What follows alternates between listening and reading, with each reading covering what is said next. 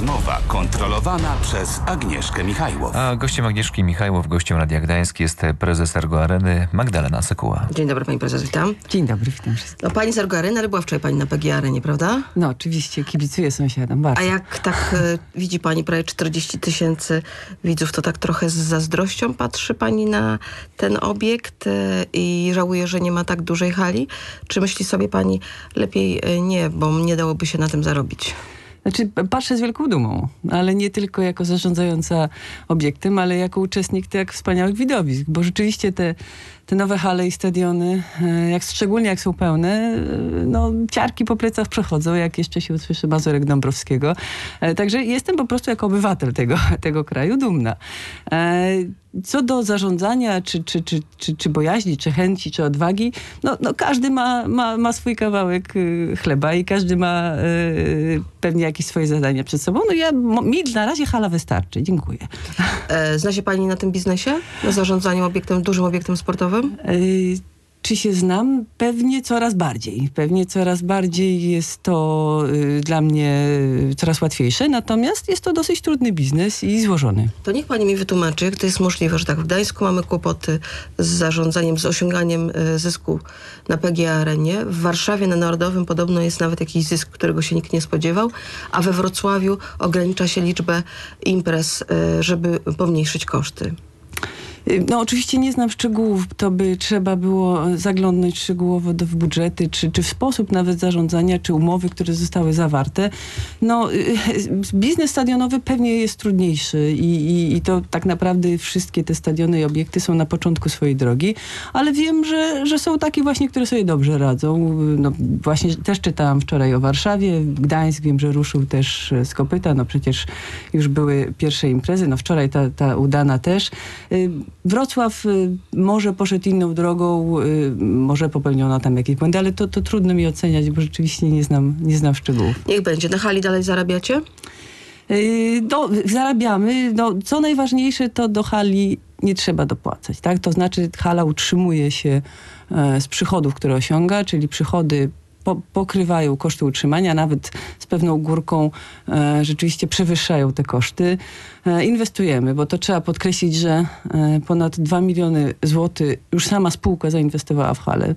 To znaczy, że ona była niedokończona, czy w co inwestujecie? No, y, pewne rzeczy oczywiście były niedokończone. Pamiętamy o lożach, tak, o wyposażeniu, no to od, od najmniej od szczegółów, od biurka poprzez długopis i, i kable i przedłużacze, to trzeba było we wszystko wyposażyć, a niestety to tak jest, że te najdrobniejsze rzeczy, a i te grubsze potem prace budowlane, no składają się jednak na potężne sumy. A ile widzów było, ilu widzów w ciągu minionego roku? No bo to już mamy dwa lata. Tak, y, w ciągu dwóch lat już 850 tysięcy odwiedziło, y, osób y, odwiedziło halę, czyli to już jest, to już jest duża... A progres duża... jest? Tak, wyraźny i widzimy, że, że, że ta... No, no, no oczywiście to ma też znaczenie, ile imprez jest w danym roku, ale, ale na pewno ten drugi rok był lepszy niż pierwszy. A kryzys nie dotyczy imprez masowych?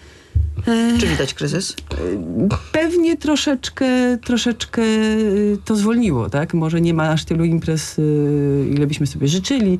E, Natomiast no, trzeba pamiętać, że, że, że ten rok był specyficzny. Mieliśmy ogromną imprezę y, w całym kraju, czyli Euro e, Mistrzostwa Europy w piłce nożnej i to też... jakby- Zmniejszyło zainteresowanie Znaczy, takim myślę, obiektem, tak? Jak no, myślę, myślę, że dużo wyciągnęło z rynku. No tyle się działo, prawda? Tyle było koncertów i w tych strefach kibica i wszędzie, że pewnie się te, te imprezy prze, przeniosły trochę na zewnątrz, ale, ale mam nadzieję i znaczy wiem, że, że jeszcze przed nami na pewno dużo fajnych imprez. To zanim y, to, co przed nami, jaka to była najlepiej, najlepsza, najbardziej udana, najbardziej kasowa impreza w Ergoarnie? E, No, no właśnie, to, to zależy znowu jak się liczy, tak? Czy, to, czy, czy liczymy ten fakt, ile ktoś przyszedł i położył za wynajem hali, czy mówimy o takim ogólnym y, oddziaływaniu na rynek, tak? I tutaj na przykład, jeśli chodzi o ten drugi aspekt, no to jedna z lepszych imprez takich uważam, która dała rzeczywiście takiego, e, takiego, taki kop, takiego kopa energii hali, no to jed, była, jed, była jednak Liga Światowa, czyli przez kilka dni komplet widzów na, na, na arenie i to widzów oczywiście z całej Polski i z zagranicy. Hotele obłożone, taksówki, kluby nocne, wszystko, wszystko hulało. Czyli y, jednak sport y, bardziej niż imprezy artystyczne. Czasem słyszę, że sport to jednak y, mm, taka dziedzina bardziej deficytowa niż zyskowna, jeśli chodzi o utrzymanie obiektów. Znaczy to bardzo zależy. No oczywiście tutaj też można wymieniać wspaniałe koncerty, które się odbyły i to były też dwudniowe Rammstein, czy, czy Lady Gaga, czy, czy Sting, tak? Także to, to też na pewno napędzało nam gości pewnie z zasobnym portfelem, czy to ze stolicy, czy z innych zakątków.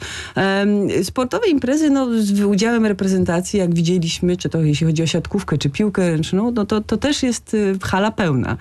E, Sport, który mm, jest na co dzień, to znaczy kluby sportowe, które grają tutaj u nas, mm, grupa y, siatkarzy i, i siatkarek i koszykarzy, e, przyciągają pewnie mniejszą widownię, no i, i to jest uzależnione od te, oczywiście od tego, mm, od wpływów z biletów i, i, i, pewnie te, te, te imprezy mniejsze, no po prostu przynoszą mniejsze A jaka przychody. duża impreza sportowa przed nami w Ergo Arenie? E, Duża impreza to na pewno w przyszłym roku Mistrzostwa Europy w siatkówce mężczyzn, które Polska organizuje razem z Danią. W 2014 roku to dwie światowe imprezy, czyli halowe Mistrzostwa e, Świata w lekkiej atletyce oraz Mistrzostwa Świata w siatkówce. Mhm. A w kwietniu jaka impreza? W przyszłym roku? W kwietniu? E, No w kwietniu będzie, jeśli można poczekać do, do, kwietnia. do 12, to chętnie nie Aha, opowiem. dobrze, pani prezes nie chce na razie ujawniać. Dobrze, a jeśli chodzi o imprezę o charakterze takim artystycznym, tutaj na PG ostatnio się chwalili, że będzie koncert e, Bon Joviego, a u was? E, Planujemy cztery duże e, koncerty. E, Korci mnie, żeby Państwu powiedzieć kto, ale nie mogę. Takie są zobowiązania, rozumiem. Takie są zobowiązania. Naprawdę kontrakty muszą być to podpisane, żeby, żeby można było tą tę radosną wiadomość A odgłosić. mocno ze sobą rywalizujecie zarówno pomiędzy takim obiektem jak PGA Arena, ale także mniejszą halą w Gdyni, ale także takimi halami jak w Polsce, Katowice, Łódź.